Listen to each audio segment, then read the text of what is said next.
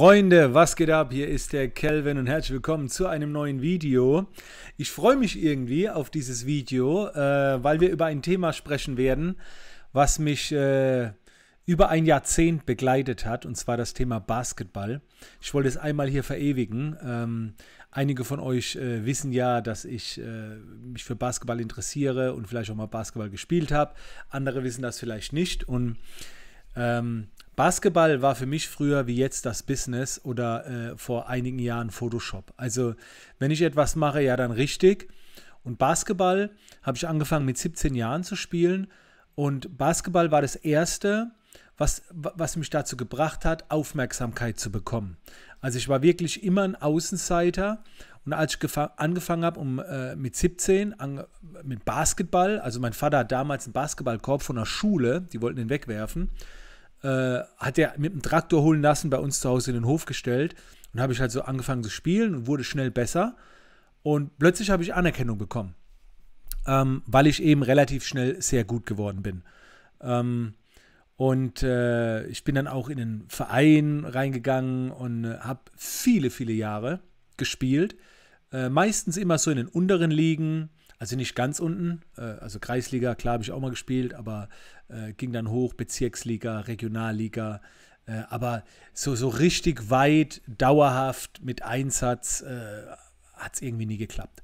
Und der Grund war, weil ich ein, ich will sagen, Ego-Zocker war, ist ja schon ein Teamsport, aber ich, es, es lief halt immer sehr viel über mich. Ich war ein sehr, sehr starker Scorer, also für die Experten. Ich habe eigentlich immer auf der 2 oder auf der 3 gespielt, ist die Position, konnte aber auch die 1 spielen. Center habe ich jetzt eher weniger gespielt. Ähm, und war eine unheimliche äh, Punktemaschine. Ne? Ähm, wobei das gar nicht so meine, also meine Stärke war nicht der Wurf, also auch, alles war irgendwie meine Stärke, kein Scheiß jetzt. Äh, aber ich konnte halt auch verdammt hoch springen. Äh, damals, äh, damals war das echt eine Besonderheit, wenn jemand, der 1,79 Meter gro groß ist und eine weiße Hautfarbe hat, ein Dunking kann. Und ich konnte ein Dunking.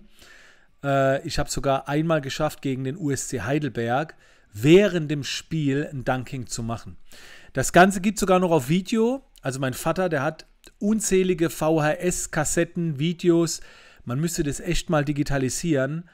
Äh, es war einfach nur geil. Ja, also und äh, was ich auch dazu sagen muss, und da bin ich natürlich ganz stolz drauf, wir hatten dann irgendwann mal ein Spiel gegen den Tabellenersten. Also ich glaube, wir waren Zweiter und die Erster oder umgekehrt.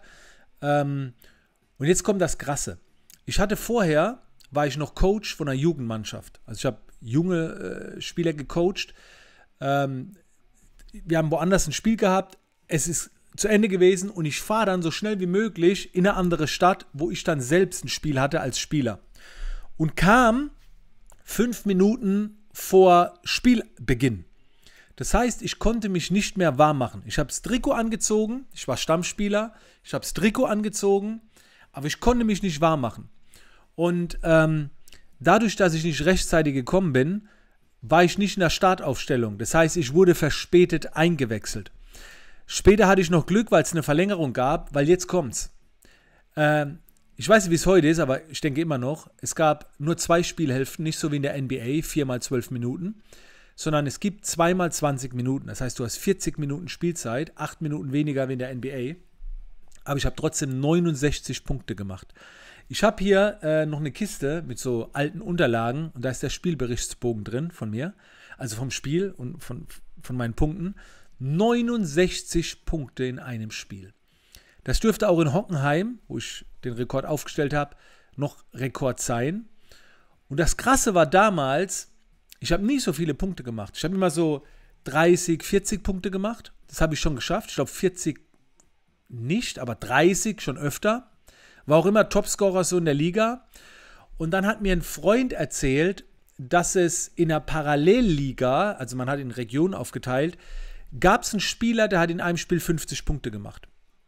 Und dann kann ich mich noch erinnern, eine Woche davor bin ich da hingefahren, habe mir ein Spiel von dem angeguckt, weil ich den Typ sehen wollte, wer macht 50 Punkte im Spiel. Und habe dann von dem mal ein Spiel angeschaut. Und er hat da auch in dem Spiel wieder 30 Punkte gemacht, fast nur Dreier. Und ich habe gedacht, wow.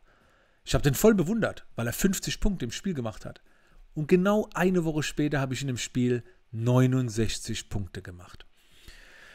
Ja, ich war äh, also sehr, sehr gut. Als Vereinsspieler war ich einfach nur ein Punkte-Scorer. Äh, für die Basketballer unter euch, äh, ich hatte doppelt so viele Freiwürfe wie der zweite in der ganzen Liga. Normalerweise wirst du eher gefault, wenn du unterm Korb äh, spielst. Wie gesagt, ich habe äh, die 2 gespielt, aber ich hatte im Schnitt, glaube ich, 14 oder 16 Freiwürfe im Spiel. Also ist unglaublich. Also ich bin ganz oft gefault worden, weil ich hochspringen konnte, immer zum Korb gezogen bin. Genau. Ähm, ja, also es war eine krasse Zeit. Ich war aber der bessere Streetballer. Ich war auch mal im Fernsehen. Bei DSF damals. Es gab ein äh, 1 gegen 1 Turnier in Stuttgart. Es war auch sehr geil. Ähm, man musste sich äh, anstellen. Es ging über zwei Tage das Turnier. Man musste sich anstellen. Und äh, wenn man drei Spiele in Folge gegen einen gewonnen hat, ich glaube, das Spiel ging 1 gegen 1 bis 3, ist man weitergekommen. Und ich bin dann Zweiter geworden. Es wurde damals auch von DSF übertragen. Von Reebok war das ein 1 gegen 1 Turnier. Ist aber auch schon ewig her.